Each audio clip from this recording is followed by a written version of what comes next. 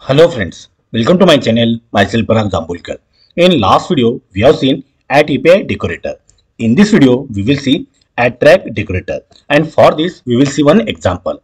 So in last video, we have seen in LWC, there are three decorators at API, at track and at wire. At API decorator is used to make any private property public. Public in the sense that property can be used in other components from the another component. So whenever we are not using any decorator, so by default any property or any function is local or private. Private in the sense it can be used within that component only. When we are using at API decorator with any property or function, so that local property or local function will be become public. That means that can be accessed from the another component. Now see in this video we will see another decorator that is at track. Now what is the use of at track decorator? So see it is used to make any private variable reactive. See again I am repeating it is used to make any private variable reactive. So see when we are using at track decorator with any variable or with any property so it remains private. So see this is the basic difference between at API decorator and at track decorator. When we use at API decorator so private property becomes public but when we are using track decorator so private property remains private only right? But it becomes reactive. What is the meaning of reactive? If there is any change in the expression value or if there is any change in property value so that changes will be reflected in component. So see if there is any change in at track properties so that updated values will be visible in that component. So that is called as reactive. If any changes happen in the component because of any expression change or any variable value change so that updated value will be seen in that component. That is called as reactive. So when we are using at track decorator along with any property it makes that property reactive. Any changes happen in that property value that will be reflected onto the component. But that property will remain private only. Now see track properties are also called as private reactive properties. That properties will be private and it will be reactive property. We can't access at track properties from the outside as they are private and only accessible within its component only. As properties remains private only, so they cannot access outside the component. They cannot access from the other component. Then to use at track, we have to import it from the LWC. So just like at API decorator, we have to import from the LWC model. What is the syntax for at track decorator? So see, this is property name and before property name, we have to use at track decorator. So syntax is just similar to at API decorator. Okay, now we will see one example and from that it will be very clear. I have opened Visual Studio Code. This is our project name LWC project 2. Here in force-app we have LWC right we will right click on this. Here we have option create lightning web component. We will click on this. We will give some name. So see suppose i am giving track counter example. We will press enter. We will keep default directory. Okay. So by this our component is created. And here are the three files html.js that is javascript file and meta.xml file. Whatever it is visible in component that should be written in HTML file, right? And logic we have to write in JavaScript file, right? Okay. So see, in HTML file, what we will do, lightning card. Okay. Here we will print counter value like this and in curly bracket here we will mention counter. Okay so counter will be a property and that we will define in javascript file. Now see we will add one more division.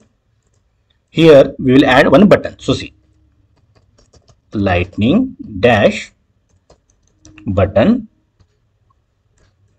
label will give plus. Now see if someone click on this button so see on click is equal to we will call one function. So see. So here in curly bracket we will mention function name. So see. Suppose we will write one function increment. This function we will define in javascript file. Okay. Like this. Okay, so by this we have added one button plus.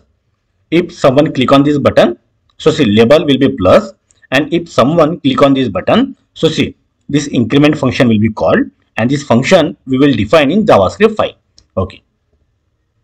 Now see one more division we will add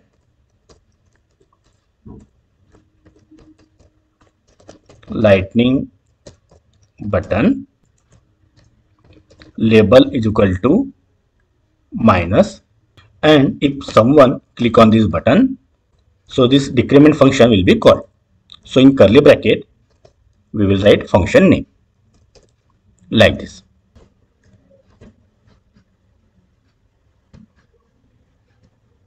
Okay. So see what we have done we are printing counter value. This is property name counter that we will define in javascript file. Here we have added one button. Label will be plus. We will call increment function if someone click on this button. Then another button. Here label will be minus. And if someone click on this button so decrement function will be called okay. So see we will save it. Now in javascript file.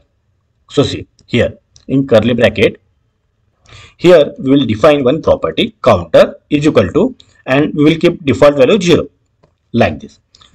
Now see we have to make this counter property reactive. So see for that we will use decorator track like this right? Now see it is showing red line right? So what we have to do we have to import track from the lwc module. So see comma track like this. So see here we are defining one property counter and by at track we are making it reactive. Now see we will write function. So see increment. So see from this function we want to change counter value right? So for that this this is reference to the counter property right? This dot counter and we will increment it right? Okay. Now we will add one more function decrement. Like this. Okay. And this dot counter minus minus right? So in this decrement function we will decrement counter value. And in this increment function we will increment counter value. And this is our counter property.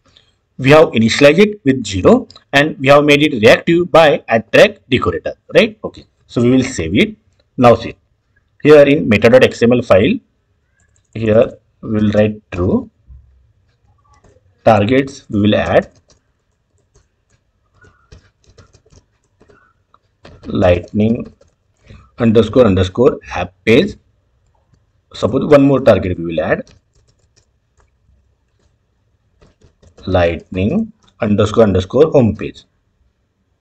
Like this now we will deploy this component so see we will right click on this deploy source to org.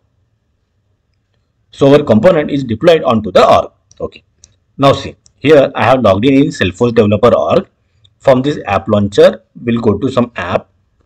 Suppose i am searching sales. Okay.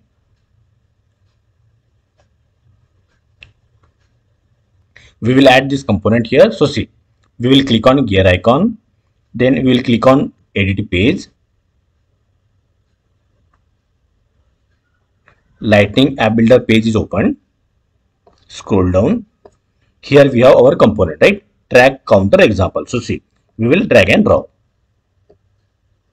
Right? Okay. We will save it. We will click on back button. Now here you can see. Counter is equal to 0 right? Now see when i click on plus button so see this counter value is getting changed right? And when i click on minus button so see this counter value is getting reduced or decremented right? And when i click on plus button so it is getting incremented. So this is how we have made this counter property reactive. Whatever the operation that we perform on this component accordingly this value is get changed.